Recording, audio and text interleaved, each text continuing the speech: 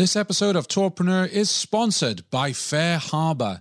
Fair Harbor fuels the experiences of the travel industry with the most comprehensive online reservation system available for tours, activities, and attractions. Visit fareharbor.com to see why over 15,000 businesses worldwide trust FareHarbor to better serve their customers and increase online bookings. Welcome to the Tourpreneur podcast. Travel industry veteran Shane Whaley will take you on a journey with fellow tourpreneurs, sharing their tips, ideas, insights, and success stories to inspire you to make your tour business the best it can be. And now, here is your host, Shane Whaley. Hello and welcome to episode 148 of Tourpreneur. This is the podcast where we flatten the learning curve for tour operators and travel professionals around the world. Today, we are talking all about Instagram. This is one of the most frequently asked questions we get here at Tourpreneur from many listeners who ask, How on earth do I use Instagram to promote my business? And as always with Tourpreneur, I want to bring us expert opinion but from people who work in the industry. And we've done that for you today. Let me introduce you to today's guest. Her name is Otehlia Cassidy. She is the tourpreneur behind Madison Eats Food Tours, and she is doing some amazing things with her Instagram account, whether it be reels, stories, IGTV, highlights, etc. Now, if any of those terms uh, you're unfamiliar with, don't worry because on this episode, it's Instagram for Dummies for a large part, which basically means my questions about Instagram because I don't know an awful lot about it. If you look at my own Instagram account for Tourpreneur, it's not great. And that's because I don't really get it, I don't really understand it. So today we go through a lot of the basics with Otehlia and also from you. So we asked in our Facebook group for questions and about Instagram and what your frustrations are, and we cover some of those questions with Otehlia as well. As always, all the links can be found at tourpreneur.com forward slash 148. And if you enjoyed today's episode, please can you do me a favor? Can you share it on your social, maybe on your Instagram? Um, share it with your peers. We're really looking to grow Tourpreneur, and I can't do that without you sharing the episodes that you enjoy and you find valuable with your friends and peers. Without further ado, let's cross over to Madison, Wisconsin, and Otehlia Cassidy. And welcome to episode 148, Otehlia Cassidy of Madison Eats Food Tours. How are you? I'm great. Thank you so much for having me here today. Oh, no, thank you. Because one of the most frequently asked questions that I get here at Tourpreneur headquarters is how on earth do I, as a tour operator, use Instagram? And I've been looking around, and there's lots of Instagram experts and gurus, and I'm sure they're all fantastic at what they do. But I was specifically wanting to help flatten the learning curve by chatting with an operator such as yourself that's doing great things with Instagram. So thanks very much for coming on to Tourpreneur today. Absolutely. I'm super happy to be here and talk about one of the things I spend most of my time doing, or I should say a lot of my time doing.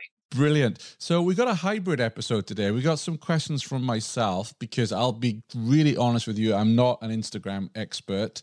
And we also invited our listeners on our Facebook group for some questions as well and what was the frustrations around Instagram. When we were chatting, you said to me that you found that tour operators seriously underutilize Instagram. What do you mean by that exactly? What I've noticed, and I think it is changing a little bit as people are becoming more comfortable with the platform, but I think what I've really noticed is that Instagram is designed to be an entertaining social platform where we're connecting to people. And what I noticed is that many tour operators are posting infrequently, and the photos that they're using are not always of great quality. And also, the ways that stories are utilized to kind of accentuate those photos that are in the feed aren't as engaging as they could be. I don't feel like tour operators are sort of finding it as a way to draw people into the excitement of leading a tour, which is, as we know, we all have so much passion for these businesses that we've started. but I don't feel like that passion is shared. And I don't feel like it's shared among the community. And that's one of the things that I think we really could do as a tour community, not just food tours, but as a tour community, is to really share what we do with other people that follow us. Absolutely. And I have to say, in terms of fun, just before we came on air, I was giggling here because I saw your Instagram post with you and your cat. Yeah. Yeah. I mean, you know, that's part of it. Like, I think if we think about the, the accounts that we like to follow on social media, even if we're just mindlessly scrolling, it's about things that are kind of take us away from the drudgery of our day or make us laugh, kind of give us a little bit of humor or some kind of insight we haven't quite gotten to all the questions yet, but I think one thing that comes to mind for me that I really want to express is that it doesn't have to be something really super thought out, highly edited. The content that you post, especially I'm talking about stories, it can be really off the cuff and just random, funny, get people a little bit engaged and give them a break from, you know, the monotony of their day. Absolutely. You know, it's quite funny with some of the stuff I've posted, whether it's on Facebook or Instagram what kind of makes me it's frustrating but it's quite funny as well is i can spend hours on one photo or one video or whatever and like no engagement whatsoever. Whereas it could be one you know i've just woken up and you know my hair's everywhere and i've taken a funny video or something just off the cuff and bang the engagement's through the roof. And i'm sure there are lessons at, that we can learn as tourpreneurs here that sometimes it doesn't have to be that glossy well produced video. People want to see the real you don't they Absolutely. And that I think is one of the things I've noticed a lot. And I've been learning myself, but also encouraging other people that are other tour operators. Like people want to see you, they want to know about you and the behind the scenes of your business.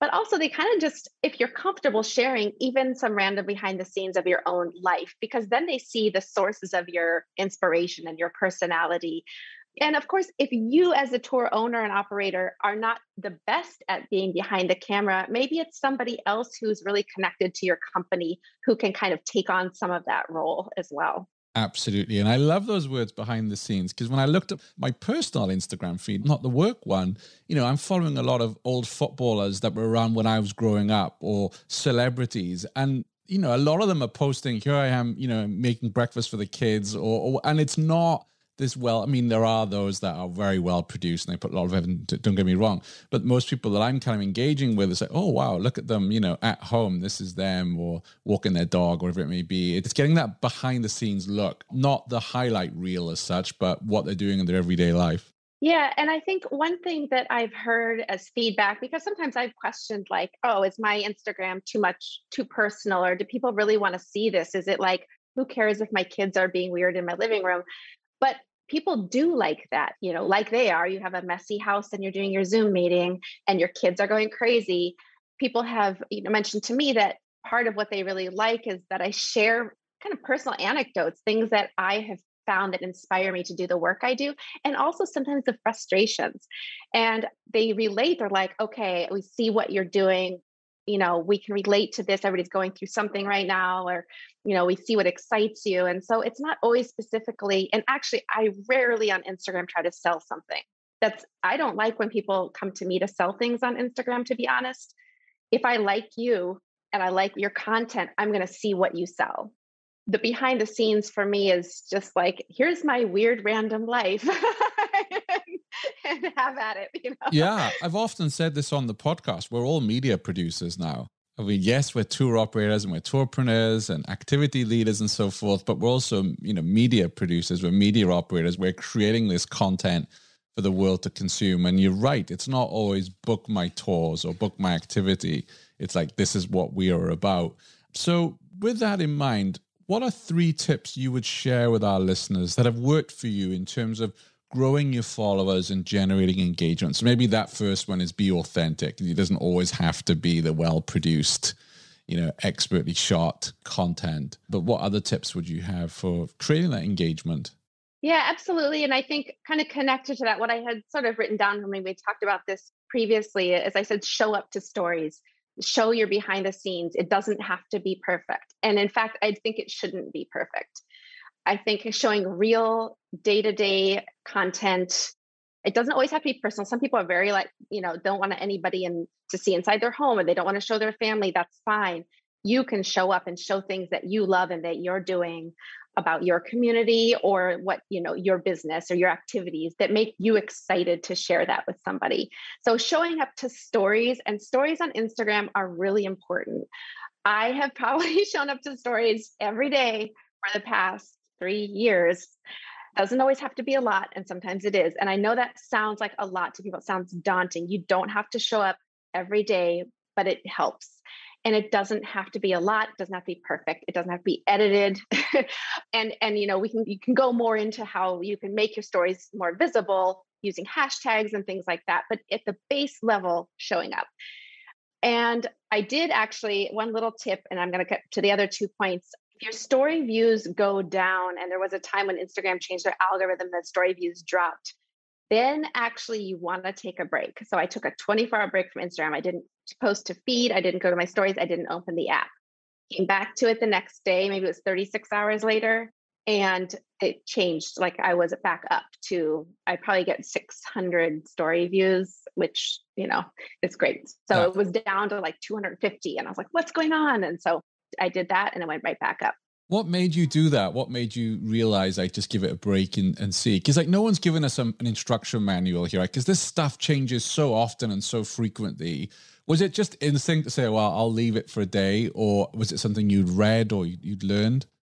It was something I had read. Uh-huh. And I do have connection with a lot of people in community who do a lot of Instagram work.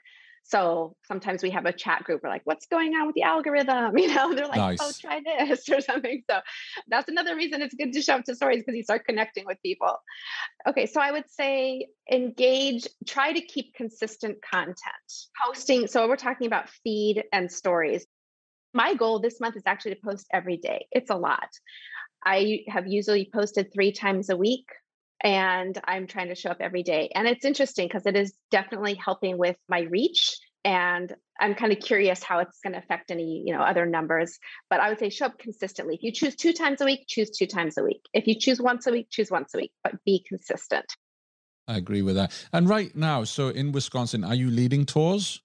I will start leading tours in May. Okay. So no, we have been off for almost a year. Yeah, so much. Yeah, I, I, you got interviewed, which has made it real interesting. I'm laughing because I remember watching it, and I shouldn't because I'm just learning this whole journalism thing. I watched you on it. I think it was local TV news last year, and you were talking about obviously the troubles you're experiencing in the industry. And then I think the lady asked you, "So when are you going to be back leading tours?" And was this like last April or something? And I'm like, "How on earth are you supposed like, to answer that?" Like, I, I, feel like I had a post. What my like, we're taking a break due to COVID. Post last March was like, "We'll see you in a couple weeks when yeah. this blows over." Yeah. I'm like, well, maybe a year. Oh. Absolutely. Yeah. So my question then is you're going to post every day, which is great. But how are you going about creating that content when you're not leading tours? Well, that's the interesting challenge. If I back up to prior to COVID, I still had an aesthetic in mind. In my feed was trying to post food and people having fun with or without food. So like people on my tours, for example that was kind of my aesthetic. I would mix up food and people because that's for me resonates with what I'm trying to do. When COVID happened, obviously we weren't leading tours. So I could go back for a little while and do a throwback, you know, picture. But at some point it's like, what am I trying to share with people anymore? Because sharing things about tours that aren't happening is kind of defeats the purpose. And you don't want to be like thinking like, oh, I wish we could do this again, you know, for too long in your social feed. So at that point, I started to think about what can I share about food? What is my passion about food and my community? I mean, we're all cooking at home more during this time. I started sharing what I'm cooking. You know, I have a food blog. I have written recipes for a blog before, so it's not totally foreign to me. And not even full on recipes. Sometimes I'm like, I threw this together and I made a delicious dinner. You should try it. Well, as you might know, we started to put together meal kits in conjunction with another local company. So we didn't actually compile them, we just developed the idea and those featured a lot of small businesses that we had not worked with as tour operators. So then I started to feature their business, like their products or something about them because you know everybody's trying to survive this economic downturn. So it became about supporting my own food experiences that I was still having and my community the best way that I could.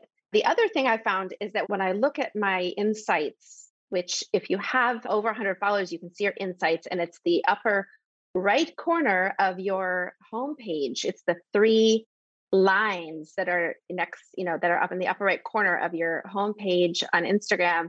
You can click on insights if you have over 100 followers. And I think you might have to have a business account, but I'm not positive about that. And I could see that people really resonated with the pictures I shared of myself, sort of talking about ways I was trying to stay inspired. So I also added in pictures of myself, whether it was like selfies I took at home or, you know, pictures that my daughter took of me and sort of my thoughts on being a business owner during this time. Yeah. Yeah, and I think it's so important, isn't it? Because we want to see the person behind the business. We want to know you. And I think a lot of tourpreneurs might feel a bit shy about doing that, thinking like, no, no, my tours are about the vendors, it's about the food, it's about the neighborhood, it's not about me. So it can be a challenge. Many of us are introverted when it comes to actually talking about ourselves. We can talk about our local neighborhoods till the cows come home, but when it's about ourselves, I think a lot of us struggle with that. Absolutely. And I think we have to remember that we are the reason our company and industry exists and we're the reason people get excited learning about our communities and the food or or the other ways that we're guiding people through our communities without us these businesses wouldn't exist so sharing those things that have inspired us is important and if it's not a personal video or picture of, of yourself that's okay but i also think those things just take practice to become comfortable with as well yeah, and that's the other thing is not to be too self-critical, right? I mean, you know, I hate even oh now. Oh this gosh. is episode episode 148 of Tourpreneur, and I still hate hearing my voice. You know, I hate it. I hate watching out. myself on video when I do like an interview on, you know, TV or even my own IGTVs. I don't often watch them. I'm like, oh my God, I looked like that or something. But I just posted anyway. Yeah. No, we're our own worst critics. Right. So the and the third tip I would say is sharing content to create community. Instagram is a social site one thing I've noticed, I follow a lot of travel bloggers, especially in the Black travel community, and there is a lot of sharing among those travel influencers and bloggers of each other's content. So I think as tour guides and tour operators, sharing like, did you see somebody do something super cool with a tour idea that you you know, oh, that's super fun. Or people are traveling more now, you know, wow, if you guys are traveling to Florida, look who's doing this thing here. And then the idea is that you repost those things. So if you tag me in a post like, cool, look what Madison Eats just made for dinner. This looks amazing. Would you try this? Then I'm going to repost that and say, hey, thanks for sharing my post. And that way we're all helping each other to grow. That's an easy, easy way to grow. Absolutely. 100% agree with you. One of my frustrations, whether it's an email newsletter or it's blogs, is when someone just talks about their own service or product and company and not actually put the spotlight, shine that spotlight on others in their community. And it could be, you know, here's a really good bar. If you're visiting Madison and you want to watch the football, this is a really, this is a cool bar or whatever it may be. I think sharing that content is important. I've sometimes struggled though on Instagram. Like I know how to retweet and how to share a Facebook message. But let's say I'm on Instagram and I see a really cool picture that you've put up on your profile. How do I go about sharing that? If it's something in my feed and my account is public, you should be able to share it to your story just by clicking what looks like an arrow or a paper airplane, the send message icon under the picture in the feed. If I click on that, as long as your account's public, I can share it to my story. If you want to share it to your feed, I use Repost app. It's an app that allows you to repost somebody else's content, but it keeps their account name in the picture, like kind of like a watermark. So you have a, you know that you're not posting original content. And then in stories, if you want somebody to share your story, you have to tag them. Right. Got you. Yeah.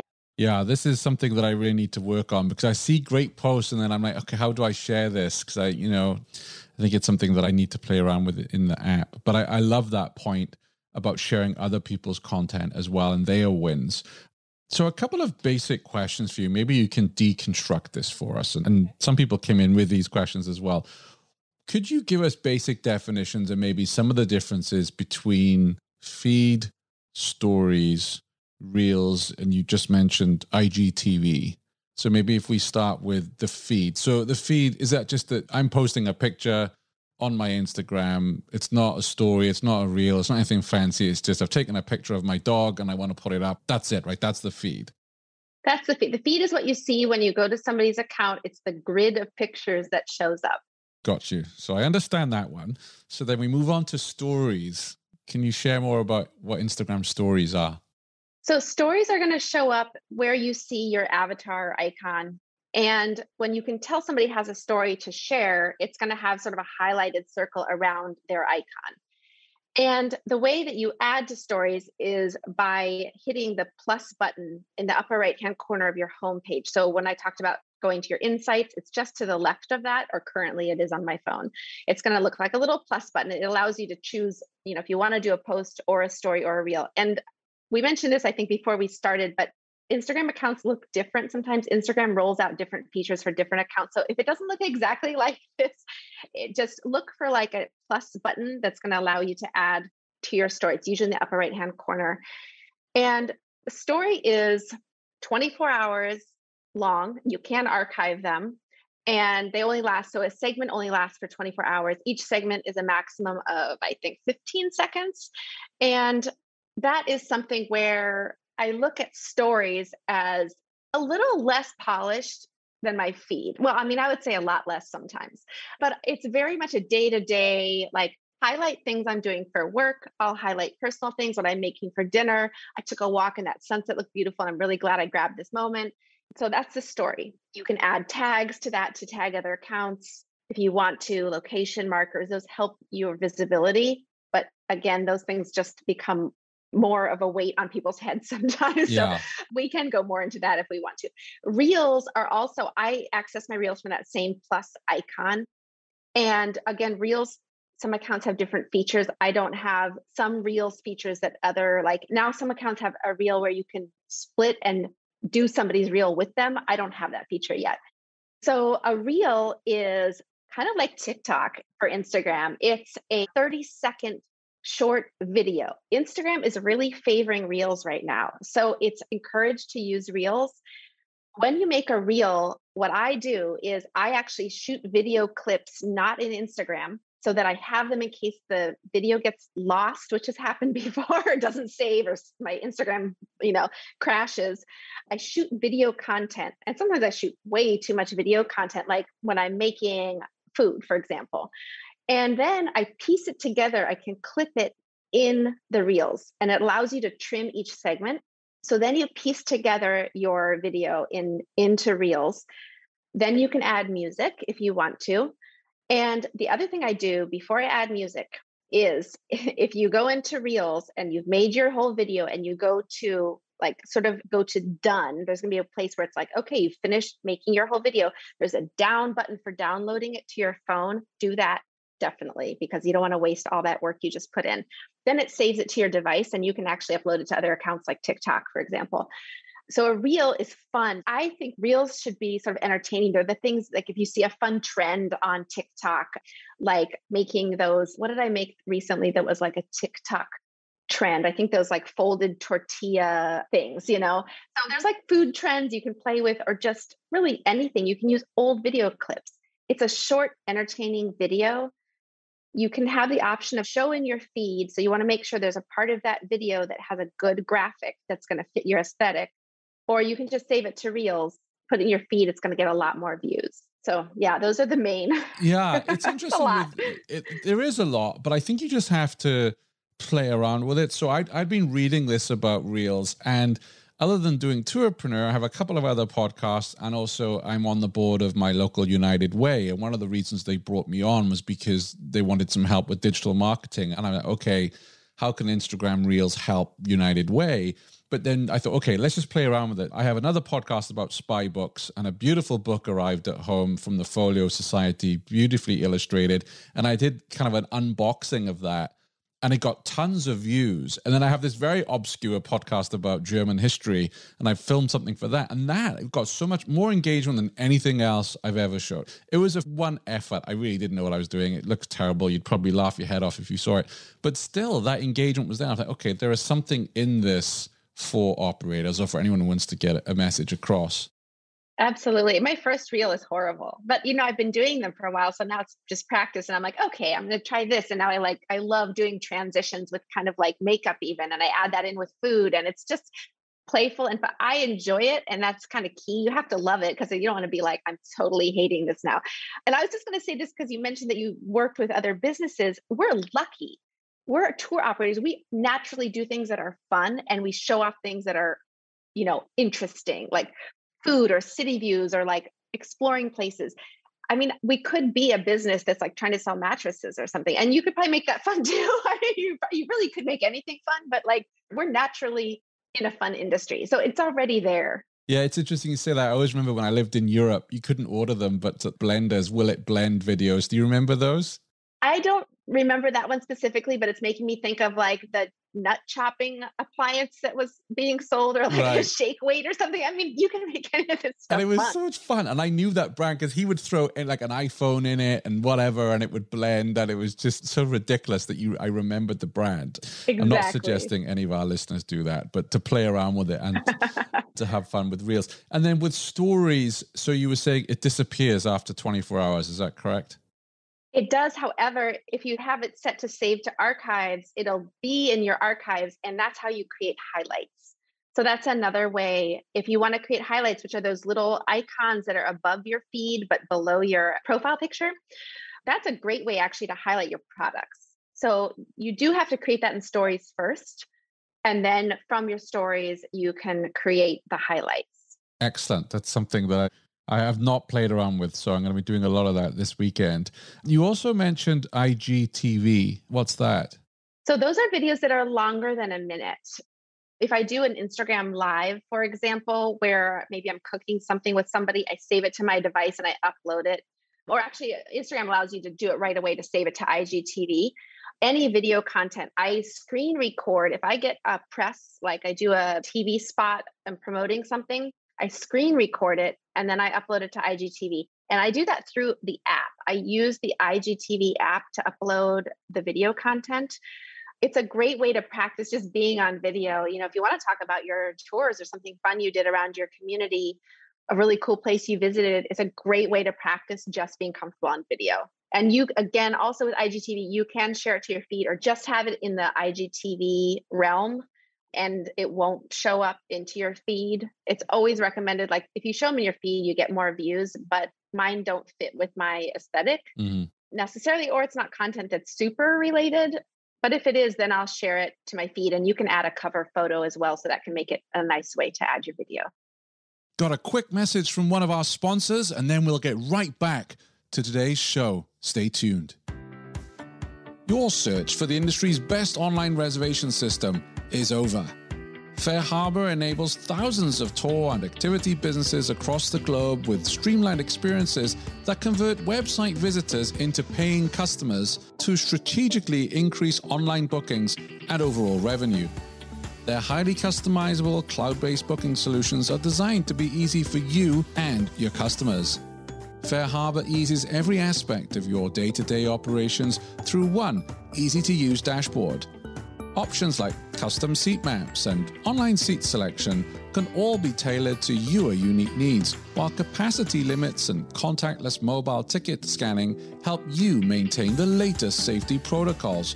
All of this alongside FareHarbor's best in class 24 7 support. Visit fareharbor.com to see why over 15,000 tour, activity, and attraction businesses choose FareHarbor. What tools or apps do you recommend people use? So I gather there's quite a lot out there. Yeah. Are there any favorites you have that you highly recommend people use? This is interesting because I, and this is not a great quality, I would say, but I don't pre plan my posts. There are apps for that. And I'm not the one to tell you about those because I'm very spontaneous with my posts. Although sometimes I plan ahead, like I know tomorrow I want to do food, the next I want to do this, but I don't pre-schedule them in an app or any kind of content uh, thing like Hootsuite or something. So I don't use those, but I do use video. Actually, I'm just going to check and make sure what I have here. Video sure. Shop is the video editing tool that I use to clip together video segments. For example, if I take video segments, but I want to make an IGTV video that's a minute long, but my original video segments are 10 to 15 seconds, I use Videoshop to clip those together to make a longer video. I use Lightroom for all of my photo editing. I do a lot of editing in Instagram, to be honest. I try to take good pictures to start with, but if I need to edit something, I use Lightroom Mobile, and I really like that. I use the repost app, which I mentioned. If I'm going to repost something, I have the IGTV app. Those are probably the main ones. I do a lot just with my phone video and then right into Instagram. What phone do you use? I have an iPhone 12 Pro. Is it for people who really want to take Instagram seriously? Would you say that's the minimum kind of version that they need or I had an iPhone 8 before this I had an 8 Max or Pro or whatever it was. The camera quality was good on that one. Instagram is about the visuals. You want to have a good camera. Mm-hmm. And you can use a real camera, digital camera, and share it, you know, with Wi Fi or something, share it to your phone. But phones nowadays take such great pictures. But the worst, you know, in my opinion, when you're especially like food accounts and you take dark, grainy pictures, it doesn't look appetizing. Why? Yeah. Why? That's my question. Why?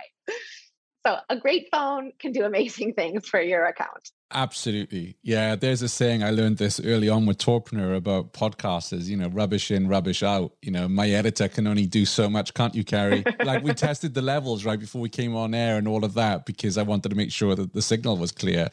Uh, there's only so much we can do.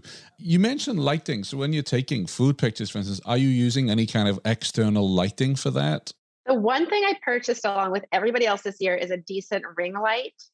I use it for when I do lives. So I have it's like very cheap on Amazon, a small tripod, a clip for my phone, and like they call it a beauty light or a ring light, probably about eight inches in diameter. I use that for any kind of video content if I'm videoing myself doing something. Otherwise, I have decent natural light in my home and I just try to position whatever I'm taking a picture of near a window. If I know that I want to post something to Instagram, like I'm getting takeout and I have to take the picture in a takeout container when I get it, I do plan that in my day to make sure I'm going during a time when it's light outside.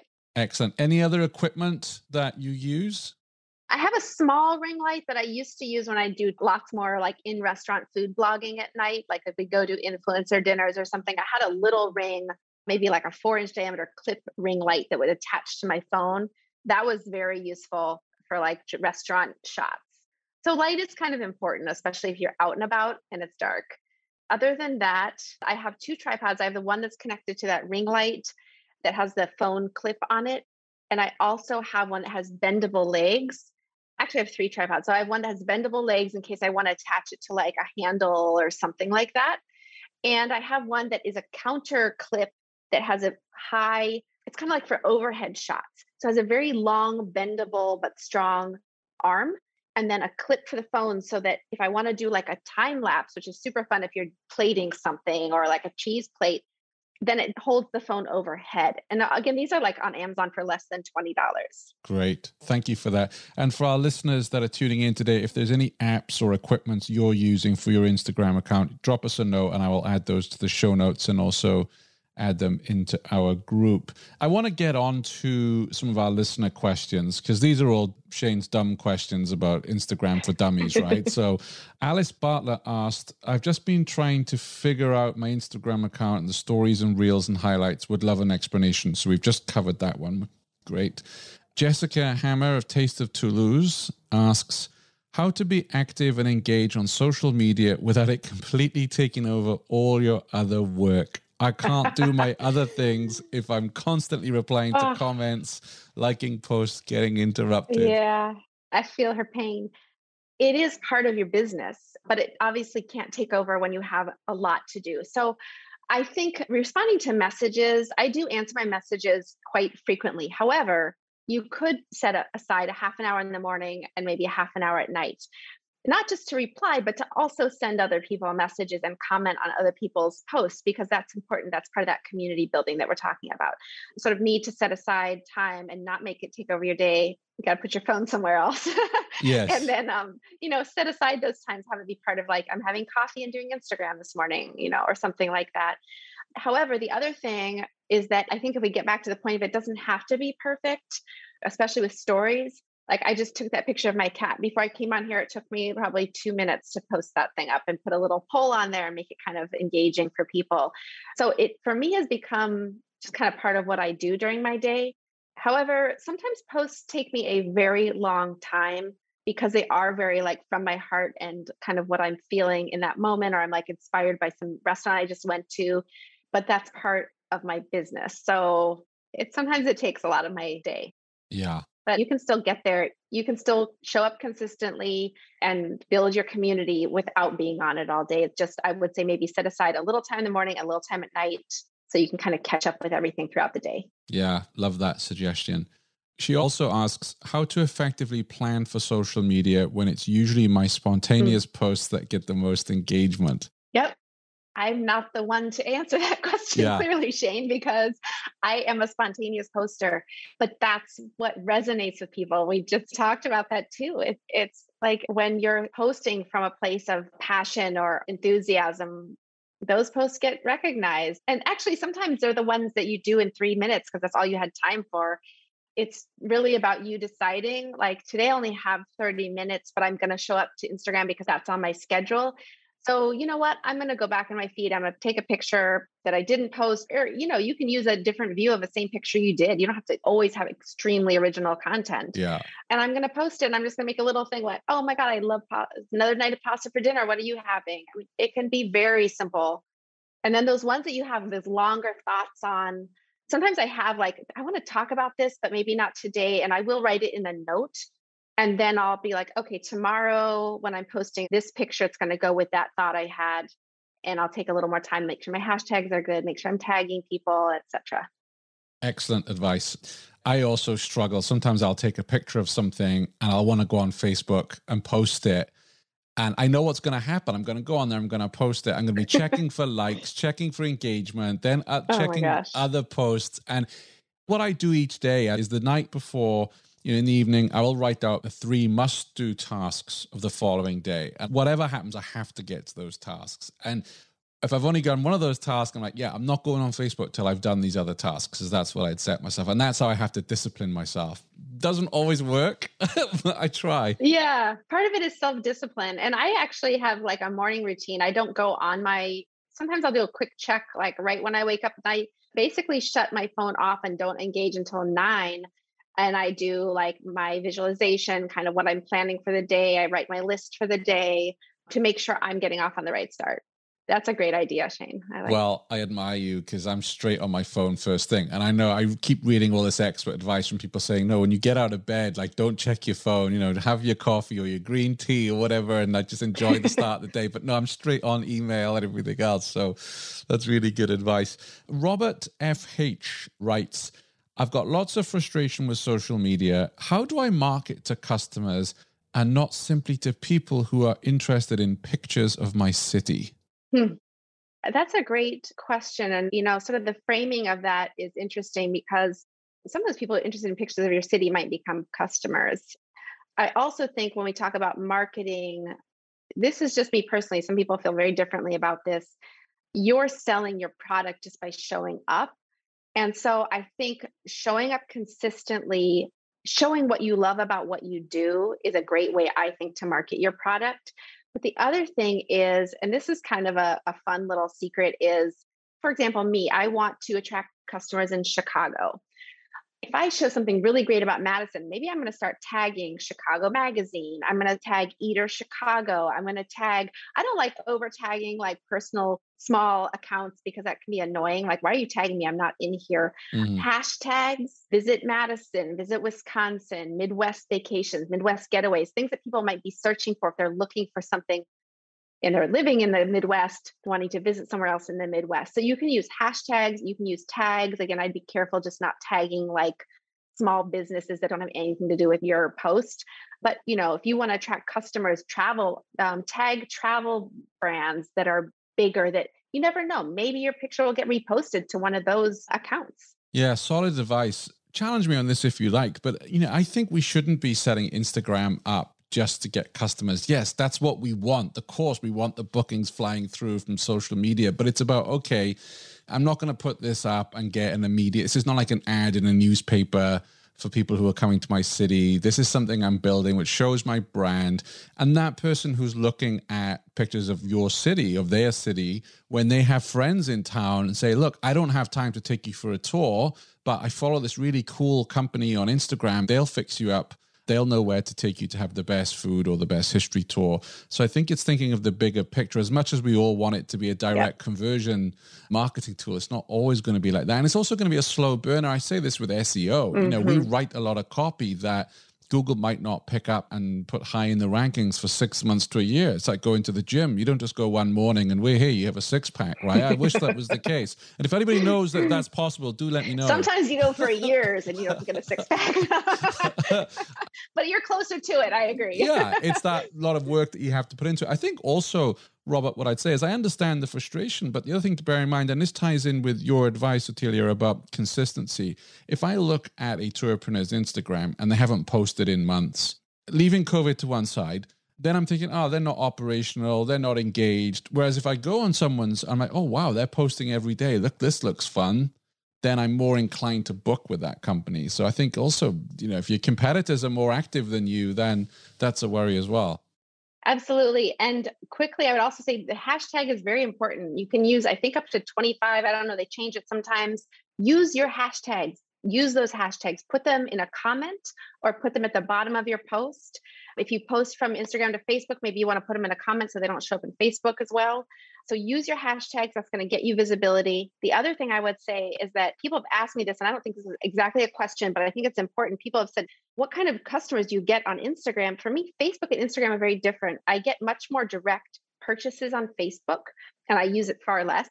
Instagram has been a visibility generator for me. So it's been a way I've gotten press out of it, people sort of knowing what I do and news articles, you know, showing up in stories of local media, people asking for interviews. So it may not be direct for sales, but it's generated a lot of visibility for me.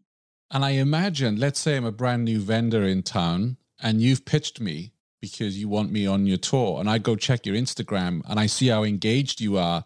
That's another benefit where it's like, oh yeah, I definitely want to get involved with this tour. Whereas if you contact me and your Instagram hasn't been updated in a year, that's not good PR either. Absolutely. Yeah, definitely. I mean, if I travel anywhere now, if I want to stay at an Airbnb or a hotel or I want to visit a restaurant, I'm looking at their Instagram. It's definitely going to help people make a choice when they do decide to book. Yeah. So, Robert, I don't want to downplay your frustration. I hear it. This Instagram takes a lot of time, as you can hear in this episode, but there are other benefits to doing it. Jessica also asks how to tie social media metrics to concrete sales and other business KPI you talk about insights, you can see what content is resonating, but are you able to match that up with any kind of sales metrics or? Not the same way you can with like a face, well, unless you have your products, you know, you can sell right on Instagram. However, the insights can help. But what I find is more so I'm like, oh, I shared this story. And now this person was like, oh, I want to bring my family on that tour. And then they do. And I know because they messaged me on Instagram or they tagged me on Instagram. Yeah. So that's really where I see that. Absolutely. Amy McMahon asks, What's the deal with stories no longer being searchable? A few months back, I noticed that hashtag feeds no longer include stories. And so now I cannot figure out how anyone besides your followers can see your stories. Yeah, I'm not totally 100% sure about the stories not being searchable by hashtag. And again, Instagram does change things here and there, and they make you know features different for different people and different types of accounts. I believe if your account is public, just by when you go to your own story and swipe up with your thumb, you should be able to see all of the people who viewed your story, eh, whether they follow you or not. You know, where I would say, I'm not sure what kind of account she has. Right. But you should be able to just see who is watching your stories based on swiping up. Sure. And I wanted to ask you about hashtags. So, what's a good strategy? Because for myself, I read somewhere a while ago that you should put the hashtags in a comment below your initial post rather than putting the hashtags in your post. Was I correctly advised or?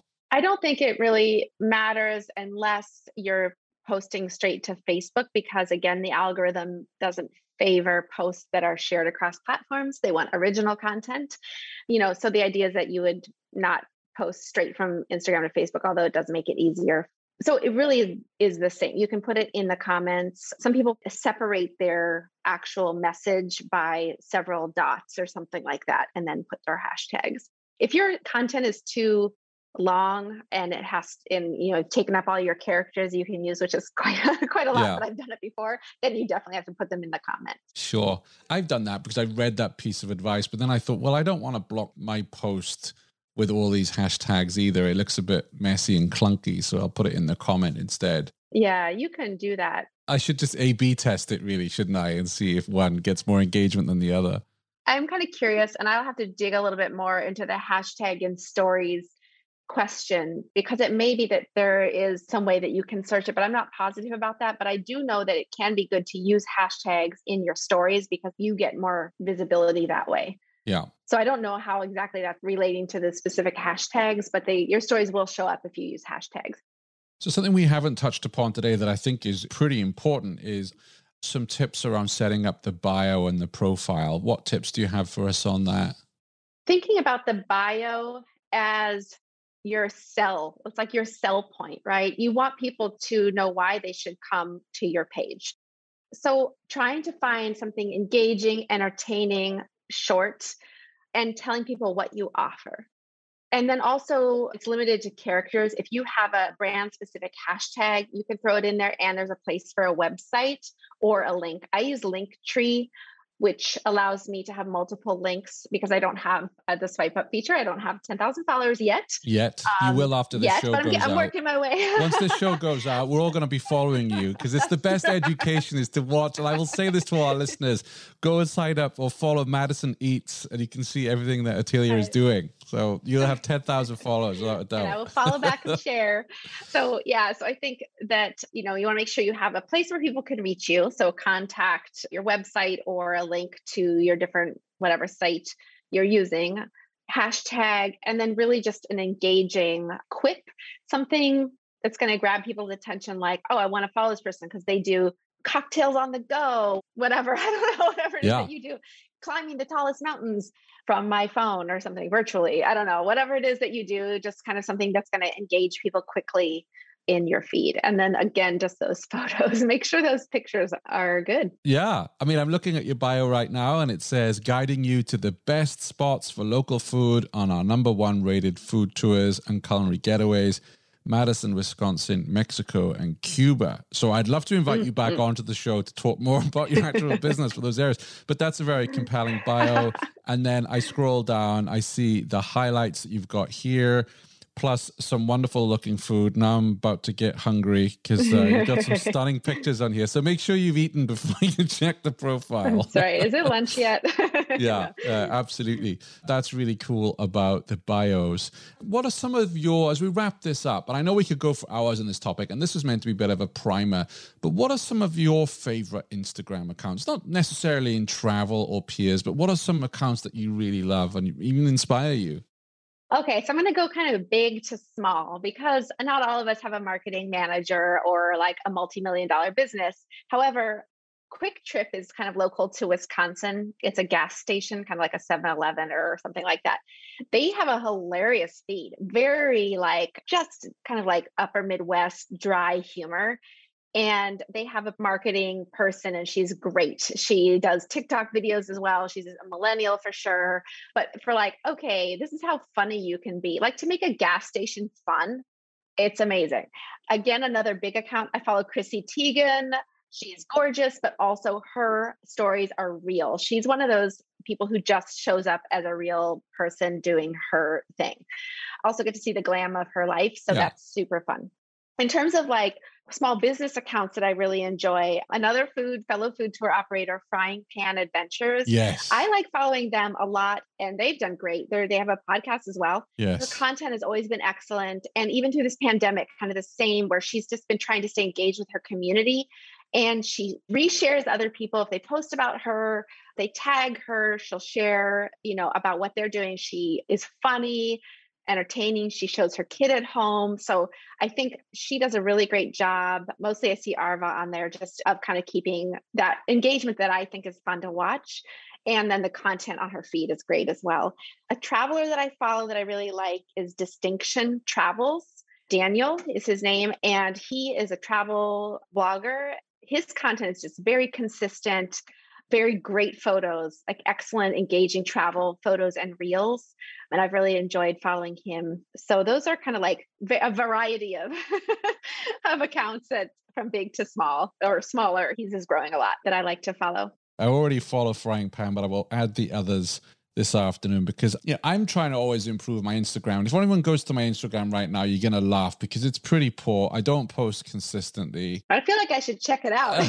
you can rip it apart. I mean, I have, but I should right now just to see what you're talking yeah. about. No, but the the reason for that is quite frankly, when I set Tourpreneur up, my goal was to travel one weekend mm-hmm. or a mm-hmm. couple of days a month and like come to Madison, go on your tour, interview you in person, take a load of photos and share those on Instagram. And right now, because I'm a podcaster, all I can really do is take pictures of my podcasting gear. I mean, I could have done something fun like you did beforehand.